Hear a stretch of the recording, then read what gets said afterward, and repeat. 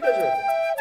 근데 이거는 때릴 수 있는 볼이고 이거는 붙여야 될 볼이고 이거는 꺾어야 될 볼인데 그렇게 하지 않는 경우들이 많고 공이 왔을 때 발이 안 간 상태에서 거의 보통 팔만 가서 이렇게 동작하시는 분들이 많아요.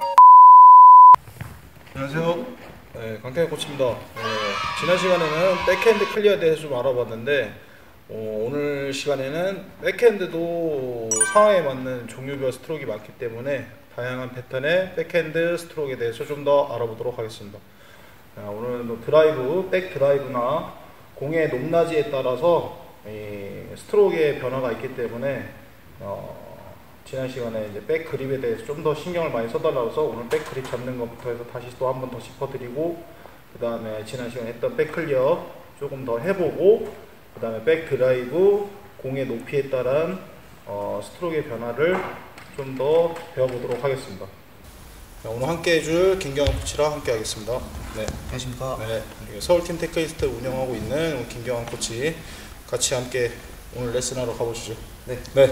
지난 시간에 우리가 백핸드 클리어를 했는데 어 제가 한 번 더 백핸드 대해서 지난 시간에 했던 것들을 한 번만 살짝 보여드리고 그 다음에 오늘 할 거에 대해서 제가 또 어, 짚어서 어, 영상을 더 한번 찍어보도록 하겠습니다.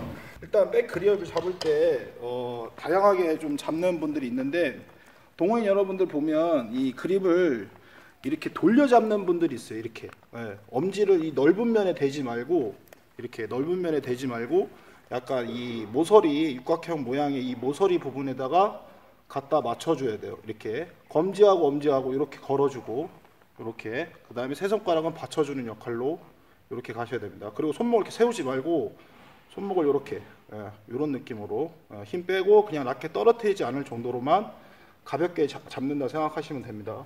그리고 이렇게 잡고 그 다음에 이제 자세에 딱 준비한 상태에서 이 엄지를 여기서 엄지를 여기다 바짝 붙이시면 안 돼요. 엄지 살짝 떨어뜨리고 준비된 상태에서 여기서 이제 왼발 빼고 오른발 빠지면서 팔이 쭉 펴지면서 내 얼굴 이 상단 위에서 때려줘야 돼요. 이렇게.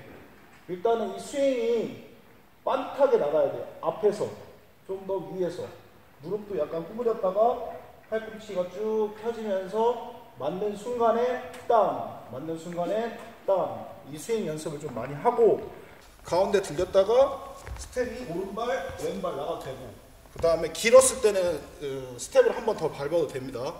공이 짧았을 때는 그냥 오른발만 나가서 때려도 되고 공이 저 백라운드까지 끝까지 간다. 그랬을 때는 이제 스텝을 한 번 더 밟아서 오른발, 왼발, 오른발 세 발 나가도 되고 공의 길이에 따라서 스텝이 틀려져요. 이게 짧게 나갈 건지 길게 나갈 건지는 공이 이제 백라운드까지 길게 왔을 때는 무조건 스텝을 길게 나가야 되니까 스텝을 한 번 더 밟고 뛰어야 되고 공이 짧게 짧게 떨어질 때는 그냥 one step 나가든지 two step 나가든지 그 변화에 따라서 좀 틀려지니까 한번 백클리어 한번 더 해보고 자, 시작해 보겠습니다. 준비하고 올려주세요. 경환 코치가 올라가서 자, 이 때리는 임팩트가 중요한데 여기서 때릴 때 딱 잡아주는 임팩트가 되게 중요해요. 손목 스냅이 빠르게 올라가면서 때려줘야 돼요. 한 번 더.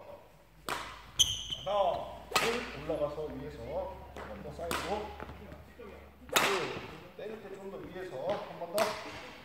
길게, 조금 더 길게 위에서 한 번 더.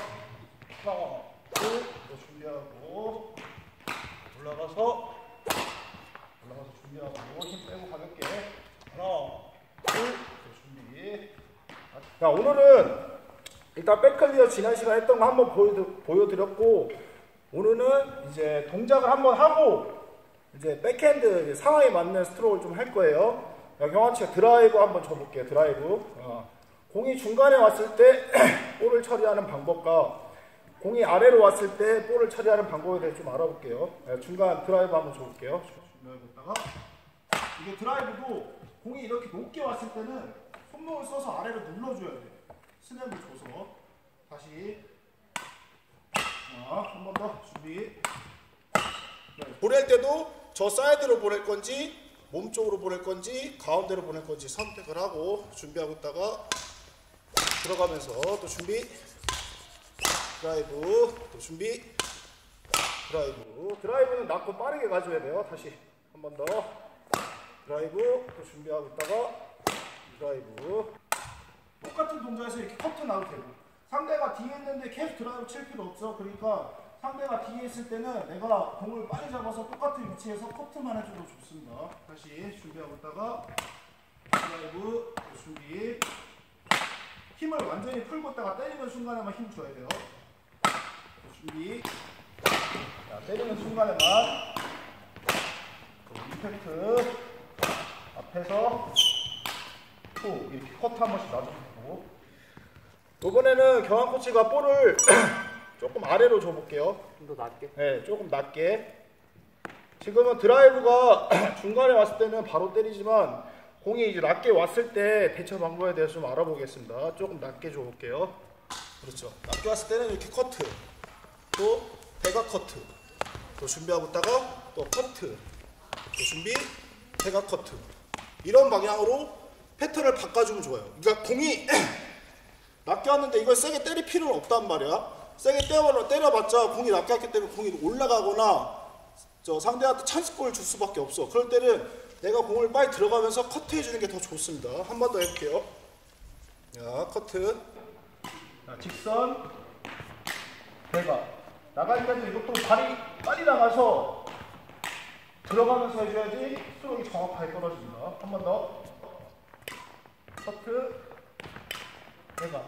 이것도 지금 떴어요. 뜨면 안 돼. 또 치고 들어가면서. 그렇지. 한 번 더. 치고 들어가면서. 몸이 따라가서 앞에서 잡는 게 되게 중요한 포인트예요.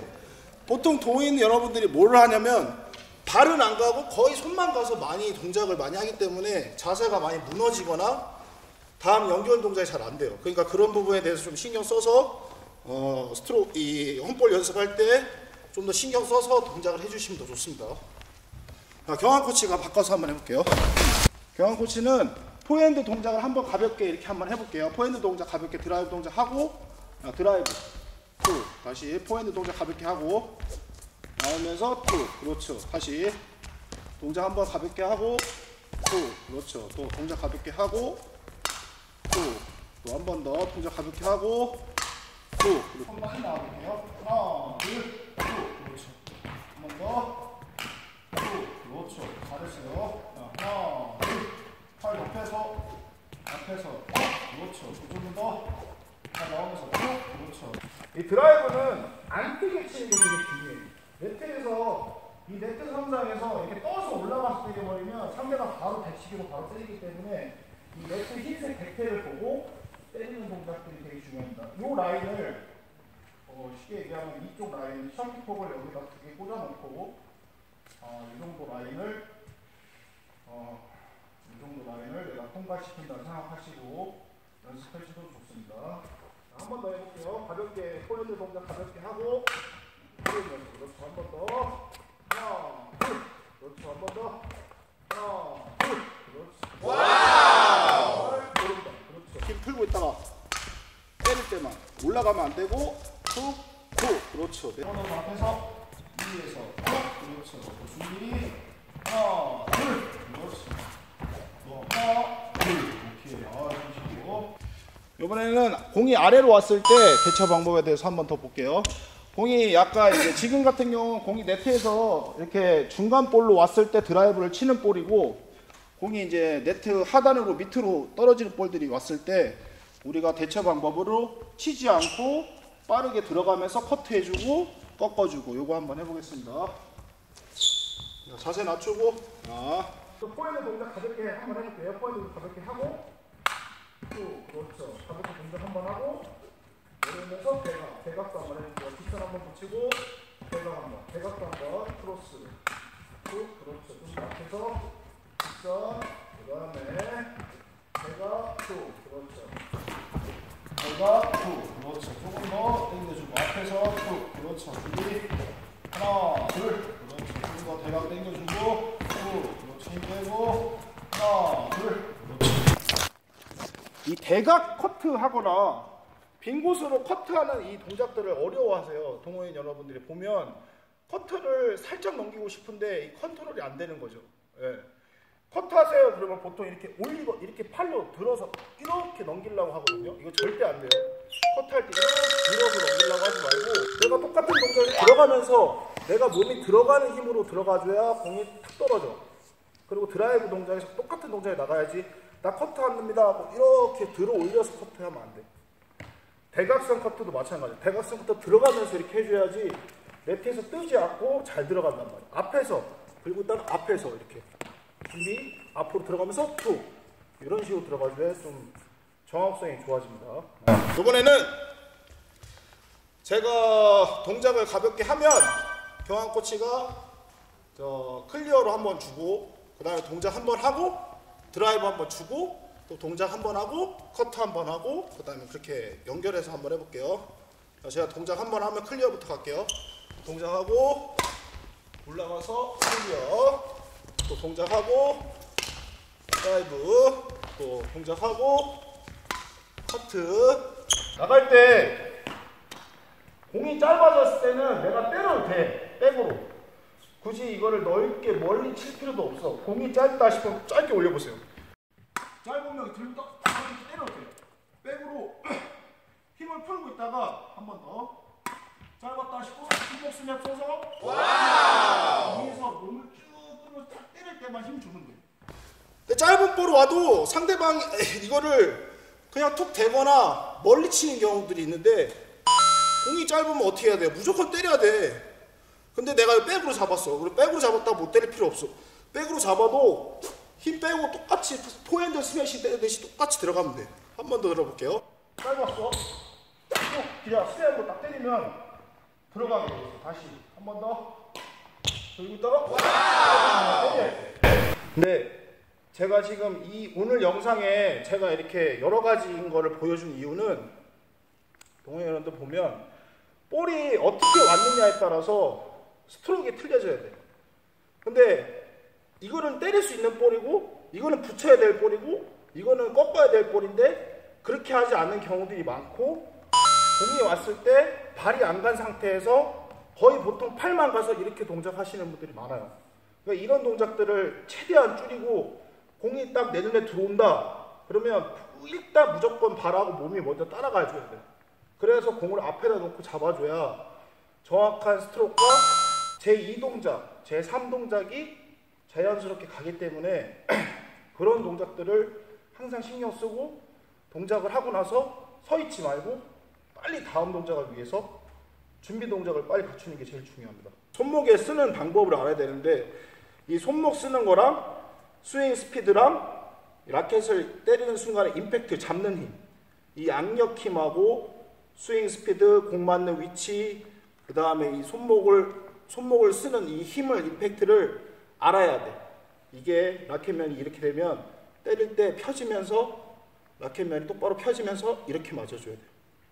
근데 이게 이렇게 맞으면 어떻게 깎여서 맞겠죠? 이게 딱 펴서 때리는 순간에 엄지를 요 라인에 받쳐놓고 때리는 순간에 탁. 그러니까 이 연습을 엄청나게 해야 돼요.